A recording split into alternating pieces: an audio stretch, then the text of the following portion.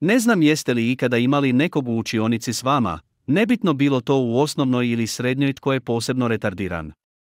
Ja sam imao dosta takvih ljudi i u osnovnoj i u srednjoj. No, ova životna priča odlučuje pobjenika posebno retardiranih ljudi koje sam upoznao. Ovog možemo reći mladića ćemo zvati Kevin. Kevin nije bio dobar učenik. Stalno je upadao u nevolje i radio sranja, no sranje koje je napravio ovaj dan je bilo nepredvidivo, smiješno, ali i naravno retardirano. Kevin je sa mnom išao u osnovnu u razred. Da, dobro ste čuli, ova se situacija dogodila kada sam ja išao u osnovnu. Što je još ironičnije, ovo se dogodilo dok smo imali sad biologije. Bio je običan osnovnoškolski dan. Radili smo što i inače djeca rade u osnovnoj. Tukli smo se s drugim razredima, a i tukli smo se jedno s drugim. Sasvim normalno. Kevin nikada nije bio lik koji će se tući, osim ako netko prvi njega ne takne ili ako takne nekog njegovog prijatelja, što je jedina stvar koju sam uvijek poštivao kod njega. Kevin i ja nismo bili dobri zbog jedne situacije, koja je nebitna prvo za priču, a drugo jer se dogodila u osnovnoj gdje se možeš posvađati s nekim samo zato što je brži od tebe na tjelesnom.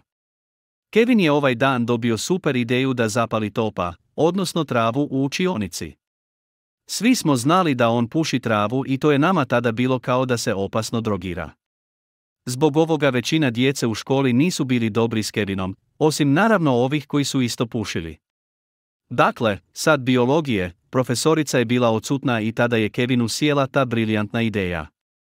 Smotao je topa, otvorio je prozor i odlučio zapaliti.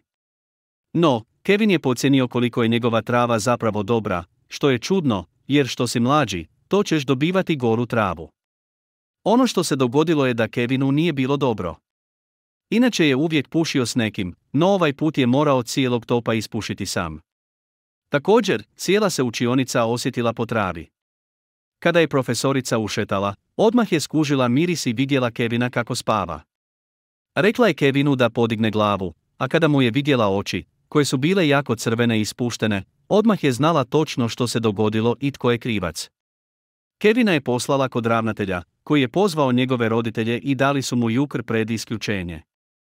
Iskreno, nas je sve čudilo kako nije bio odmah izbačen iz škole. Poanta priče je očita, nemojte pušiti travu u školi ili u bilo kojoj ustanovi gdje je to strogo zabranjeno, jer će biti posljedica. Hvala vam što ste izdvojili vrijeme od svoga dana da pogledate još jedan moj video.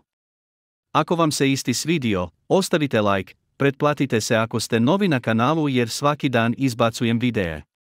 Pišite komentare sa svojim životnim pričama i mišljenjima na ovu životnu priču i čujemo se sutra.